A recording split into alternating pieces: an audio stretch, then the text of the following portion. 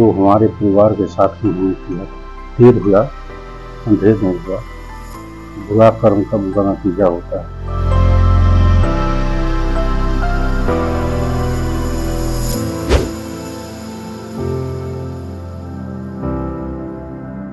उत्तर प्रदेश के मऊ ज़िले के गैंगस्टर मुख्तार अंसारी की बांदा जेल में हार्ट अटैक आने से हुई मौत के बाद। मुख्तार अंसारी की मौत पर अजय प्रकाश सिंह के भाई हरेंद्र सिंह ने का बयान सामने आया है। मुख्तार अंसारी को कानून ने सजा दी थी। आज ईश्वर ने भी सजा दे दिया। हरेंद्र सिंह ने कहा कि मुख्तार अंसारी को ईश्वर ने सजा दे दी है।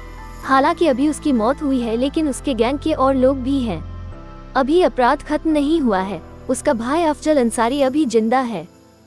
ये तो बहुत ईश्वरी है लेकिन जो हमारे परिवार के साथ हमने किया था, देर हुआ अंधेर नहीं हुआ। बुरा कर्म का बुरा नतीजा होता है। कुछ अपने घाव पे मरहम जैसे लगा वो जो दर्द है, जो क्षति हुई, वो पूर्ति तो नहीं होगी, जो इनके द्वारा की गई थी। आज कुछ दिल को तसल्ली हुआ है कि ईश्वर ने हम लोगों के साथ न्याय किया।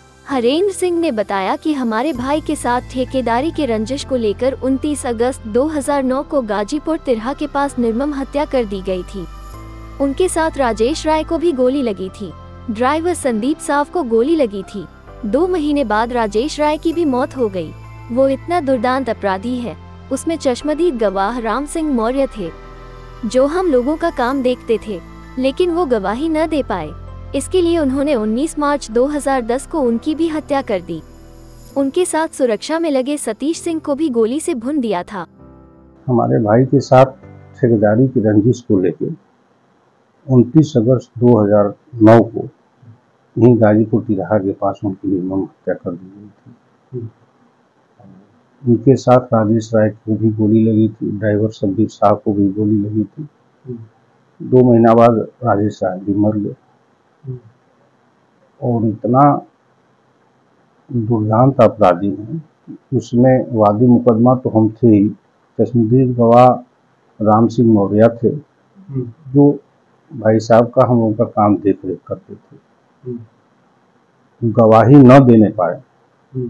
इसके लिए इससे आ, इसके लिए उन्होंने 19 मार्च 2010 को उनकी भी हत्या कर उनके साथ सुरक्षा बल में लगे सतीश सिंह को भी गोली से भून दिया मुख्तार अंसारी जुर्म की दुनिया का वो बादशाह था जो लंबे समय तक जेल में तो रहा लेकिन किसी भी जेल की सलाखें उसके रुतबे को कम नहीं कर सकी। वो जेल के अंदर से ही अपनी गैंग को चलाता रहा और लोगों को डराने धमकाने और हत्या करने जैसे काम करता रहा। ये तो इतना दुर्दान था कि जेल में बंद हो बंद रहते हुए भी कृष्णानंद राय की भी हत्या जेल में बंद रहते हुए कराई थी। जिसका वीडियो क्लिप आवाज़ का वॉइस का वीडियो क्लिप शासन प्रशासन द्वारा जारी किया गया है कि वहाँ घटना हो रही है और अभय सिंह से ये बात कर रहा है। ये वीडियो क्लिप सामने आई थी। सारे सारे लोग जानते हैं।